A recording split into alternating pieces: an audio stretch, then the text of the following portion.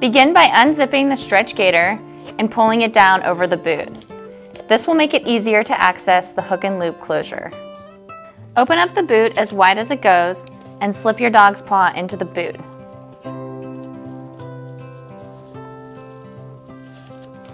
Cinch the boot tight and secure it around the narrowest part of your dog's leg. Pull the stretch gaiter back up and zip it up. Make sure the zipper pull is flipped down as that locks it and keeps it from unzipping. The boot should fit with little excess room from left to right and front to back. It should bend at a 45 degree angle where the paw naturally bends.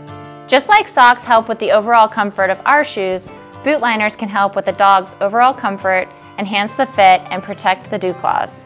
If your dog has longer fur, it can make getting boots on a little easier too. There's no need to size up if you plan to use boot liners. We recommend using treats or toys and keeping the activity fun and rewarding to take focus away from the boots as your dog gets accustomed to wearing them. About 10 minutes into your activity, stop and check for rubbing and hot spots. This is also a great time to check the strap tension and fit to make sure the boots stay secure. And that's it. Thanks for watching. Nice job, Riggins!